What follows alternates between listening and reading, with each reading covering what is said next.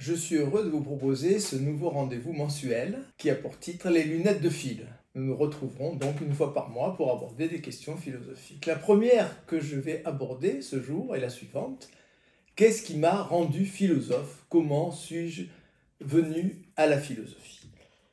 C'est une question que je ne me suis pas posée durant les années qui ont suivi mes études de philosophie. Pourquoi? Parce que la réponse me semblait évidente. J'étais destiné à être philosophe, la philosophie était ma vocation, et quand quelque chose est évident, on n'interroge pas. C'est de longues années plus tard, quand je suis devenu un philosophe, entre guillemets bien sûr, reconnu, que mes amis m'ont souvent posé la question, mais qu'est-ce qui t'a rendu philosophe? Et j'ai toujours fait la même réponse.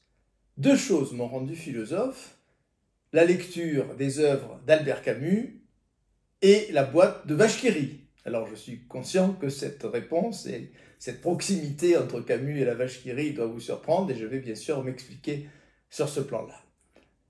Albert Camus tout d'abord.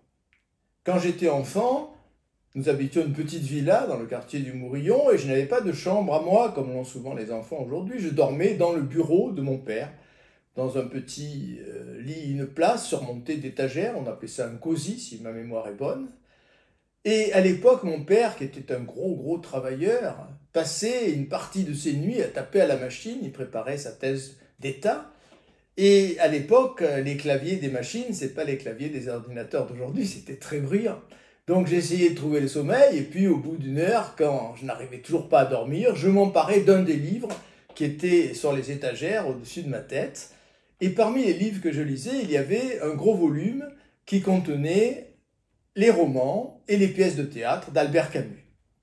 Et donc, à partir de la classe de troisième, j'ai lu, j'ai relu, j'ai re-relu La peste l'étranger, Caligula, L'été surtout, qui m'a fasciné, qui demeure selon moi l'un des plus beaux livres de Camus. Si bien qu'arrivé en terminale, j'avais une certaine avance sur mes camarades parce que Camus m'avait initié aux questions philosophiques et je citais régulièrement Camus dans mes dissertations ce pauvre Camus qu'on a scandaleusement appelé philosophe pour classe terminale. Non, c'est un authentique philosophe. Il a étudié la philosophie à la faculté des lettres d'Alger. Il a fait un très beau mémoire, on appelait ça à l'époque un diplôme d'études supérieures sur Saint-Augustin. Euh, c'est un vrai philosophe, Albert Camus. Euh, il n'y a aucun doute à ce sujet.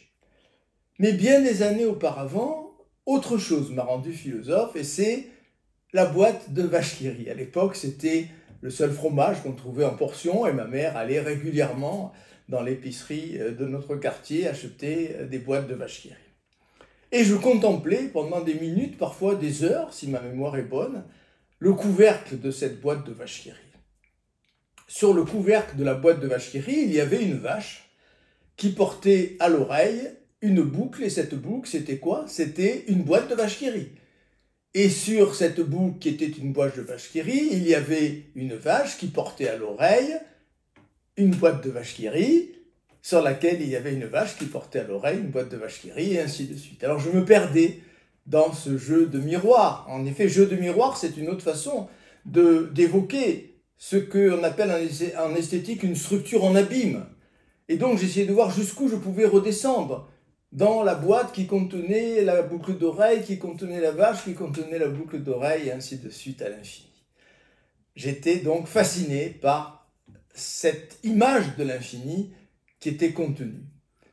Longtemps plus tard, j'ai découvert un philosophe avec lequel je suis devenu ami, et c'était une merveilleuse amitié, c'est Marcel Conche qui nous a quittés en 2022 à l'aube de ses 100 ans. Et j'ai été très ému, je crois que le mot n'est pas trop fort, en lisant chez Marcel Conche ces formules qu'on trouve dans Vivre et philosopher, où il répond euh, aux questions d'une intervieweuse. Philosophe, il me semble que j'ai toujours été, d'abord sans le savoir, ensuite en le sachant. J'ai raconté dans une note de mon anaximande ma première expérience philosophique. Alors que mes parents faisaient les foins, dans un pré au bord d'une route, il me vint à l'esprit pardon, d'aller jusqu'au bout de cette route. Parti d'un bon pas, j'atteignis le prochain tournant, persuadé que c'était le bout. Et je me souviens de ma surprise lorsque je vis le ruban de la route s'étendre loin vers un autre tournant. Toutefois, je ne doutais pas que là devait se trouver le bout extrême du monde. Et je m'apprêtais à le vérifier lorsque mon père mit fin à mon expérience métaphysique par une intervention inopinée. Et donc, en lisant ces lignes de Marcel Conge, j'ai compris que ce ruban de la petite route du Corrèze, qui, de Corrèze qui serpentait entre les champs euh, de son agriculteur de père, ont été, au fond, pour Marcel Conge, ce qu'a été pour moi la boîte de vache Les routes de Corrèze pour le petit-fils d'agriculteur qui était Marcel Conge, la boîte de vache pour le petit citadin que j'étais. Mais dans les deux cas, nous avons au fond la même expérience qui est l'expérience de l'infini. Alors j'en viens à la question un peu délicate, qu'est-ce qui rapproche Albert Camus et la boîte de vache sans faire injure au grand Albert Camus? Eh bien, la lecture des œuvres de Camus, aussi bien que la boîte de vache le couvercle de cette boîte, m'ont amené à me poser mes premières questions philosophiques. Ce qui m'amène à me demander qu'est-ce qu'une question philosophique? Au fond, il y a deux types de questions que les hommes peuvent se poser. Il y a des questions euh, quotidiennes, euh, des questions urgentes qu'on est obligé de se poser, auxquelles on est obligé de répondre parce qu'il en va de notre vie et même de notre survie. Euh, qu'est-ce qu'on mange à midi Quelle route prendre pour éviter les bouchons Est-ce que je dois épouser ma compagne ou continuer à vivre avec elle en union libre Ces questions, nous nous les posons, nous ne pouvons pas ne pas les poser. Et puis il y a les questions superflues, les questions évitables qu'on n'est pas du tout obligé de se poser.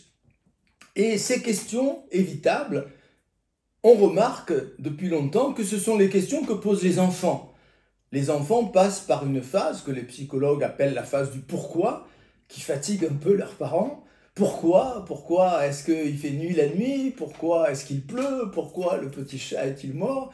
Les enfants posent à leurs parents ces questions et devant l'incompréhension des parents qui, qui se lassent, euh, qui parfois envoie promener le pauvre petit bambin qui pose ses interrogations, mais l'enfant finit par ne plus poser ses questions et puis il est pris par sa scolarité, par ses obligations.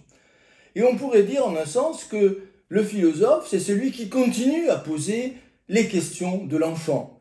Euh, un philosophe allemand au début du XXe siècle avait dit la philosophie, il appelait ça la métaphysique, mais peu importe les mots, la philosophie c'est l'art de répondre aux questions d'un enfant de 5 ans. Alors oui, nous sommes là devant des questions superflues qu'on pourrait ne pas poser, qu'on aurait appelées inessentielles. Souvenez-vous de l'époque du Covid, il y avait l'essentiel et l'inessentiel. Presque tout devenait inessentiel tant l'urgence de la santé de la protection de nos santé était devenue impérative. Donc inessentiel le théâtre, la musique, le cinéma, toutes les activités culturelles et la philosophie bien entendu. Eh bien cet inessentiel, on remarquera que c'est en fait l'essentiel c'est parce que l'homme pose ces questions inessentielles qu'il est humain, qu'il n'est pas simplement un animal obsédé par sa survie, euh, mis en route par les impératifs de la survie. Ces belles questions inessentielles, elles sont liées à l'étonnement. Les philosophes antiques, Platon et son disciple Aristote, ont dit tous les deux, presque dans les mêmes termes, que l'étonnement est le père de la philosophie. L'étonnement est le début de toute philosophie. Alors, mes chers amis, apprenez à vous étonner réveiller l'enfant qui sommeille en vous. C'est ce que je vous souhaite en ce début 2024, parce que nous sommes encore à l'époque des vœux.